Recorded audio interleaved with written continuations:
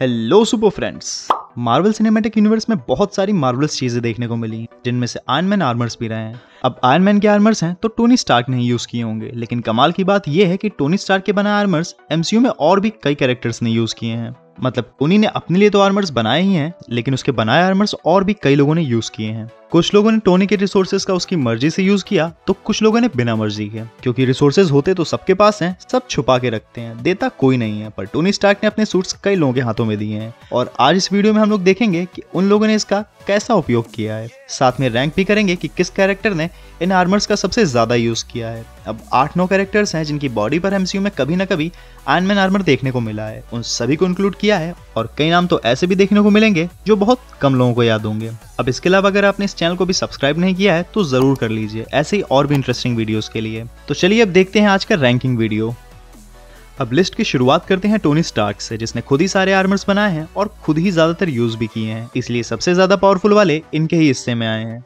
अफ़गानिस्तान में अपनी जान बचाने के लिए टोनी स्टार्क ने मार्क वन आर्मर बनाया, जिसके बाद पूरी लाइफ भर अपने टेक्नोलॉजिकल और फाइनेंशियल रिसोर्सेज को यूज़ करके नए और इम्प्रूव्ड 85 आर्मर्स बनाए। अपनी इंटेलिजेंस और इन आर्मर्स की हेल्प से टोनी स्टार्क सुपर सोल्जर्स और गॉड्स जैसों के बीच में अपना सुपर हीरो स्टेटस मेंटेन कर पाया। शुरुआत में टोनी स्टार्क ने काफ़ी कोशिशें की आयरन टेक्नोलॉजी को पब्लिक और गवर्नमेंट से बचा कर रखने की, क्योंकि आयरन बनने से पहले उसके वेपन्स गलत हाथों तक पहुँच गए थे। लेकिन आयरन मैन टू में टोनी के बेस्ट फ्रेंड रोडी ने उसका मार्क टू आर्मर ले लिया और वॉर मशीन बन गया, जिसमें लगातार कई सारे अपग्रेड्स होते रहे। Civil War Avengers Infinity War और एवेंजर्स एंड गेम तक वॉर मशीन के आर्मर को लगभग छह बार फुली अपग्रेड किया गया। इन आर्मर्स में बिल्ट इन वॉकिंग एड भी है, जो रोडी को आराम से चलने में हेल्प करता है, क्योंकि सिविल वॉर में विजन के अटैक के बाद रोडी की बॉडी सेमी पैरालाइज हो गई थी। इसके अलावा repulsors unibeam bomb dispensers machine guns और मिसाइल लॉन्चर्स जैसे वेपन्स भी वॉर मशीन के सूट्स में देखने को मिले हैं। एमसीयू में पीटर पार्कर को टोनी स्टार्क जैसा मेंटोर मिला, जिस वजह से पीटर को स्टार्क इंडस्ट्रीज़ के काफ़ी सारे बेनिफिट्स मिले। कैप्टन अमेरिका सिविल वॉर में टोनी ने पीटर को रिक्रूट किया, स्पाइडरमैन होमकमिंग में एक अच्छा सूट भी दिया। अवेंजर्स इन्फिनिटी वॉर में तो सबसे ज़्यादा powerful Iron Spider suit Peter Parker को मिला, जो उसने एवेंजर्स एंड गेम में भी यूज़ किया था। आयन स्पाइडर सूट में न्यूरल रिएक्टिव इंटरफेस था, जो स्पाइडरमैन के मेंटल इनपुट पर क्विकली रिस्पॉन्ड करके सूट में चेंजेस कर सकता था, जैसे स्पाइडर लेग्स निकालना। ऑक्सीजन प्रोवाइड कर सकता था ये सूट वेब शूटर्स पैराशूट तो थे ही, साथ में फ़ेमस इंस्टेंट किल मोड भी था।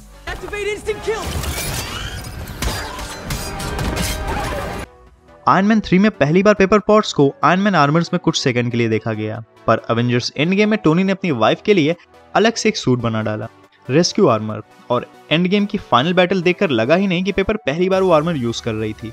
रेस्क्यू आर्मर में भी रिपल्सर्स और यूनिवियम जैसे फीचर्स थे, साथ में ऑटोनोमस एनर्जी डिस्प्लेसर सेंट्रीज हैं, जिससे रिपल्सर एनर्जीज का एक काफ़ी बड़ा एरे ब्लास्ट किया जा सकता है। ऊपर से आर्मर फीमेल के लिए है तो कलर का भी ध्यान रखा गया है।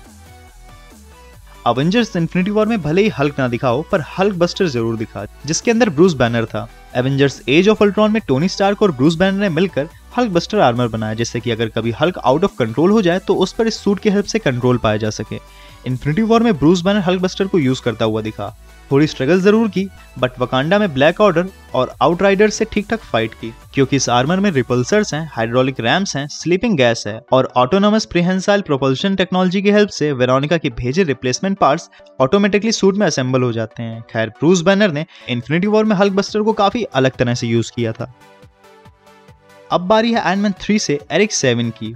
वही जो एलरिच किलियन का खास वाला बंदा था। तो एरिक सेवन ने भी मूवी में आयरन पेट्रियोट आर्मर यूज़ किया था। जब रोडी से किलियन ने आर्मर छीन लिया तो एरिक सेवन प्रेसिडेंट एलिस को किडनैप करने के लिए एयरफोर्स वन में गया। वहाँ उसने काफ़ी लोगों को मारा अपनी एक्सट्रीमिस्ट की पावर्स और आर्मर की हेल्प से। आयन पेट्रियोट बेसिक आर्मर था, जिसमें mini guns back mounted machine gun repulsors और छोटी मिसाइल्स थी।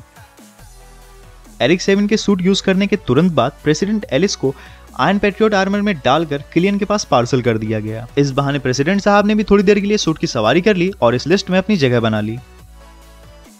आयनमैन थ्री में ही एक और कैरेक्टर कुछ मोमेंट्स के लिए आयनमैन आर्मर के अंदर दिखा। एलरिच किलियन मूवी के क्लाइमैक्स में टोनी और किलियन के बीच कमाल की फाइट होती है। तभी मार्क 42 आता है और एक रेलिंग से टकराकर डिसइंटीग्रेट हो जाता है। जिसके बाद किलियन को लगा वो टोनी को धर लेगा लेकिन तभी टोनी मार्क 42 के पार्ट्स किलियन की बॉडी पर भेज देता है। और एक ब्रीफ मूवमेंट के लिए एलरिच किलियन भी आयनमैन आर्मर में रहा है।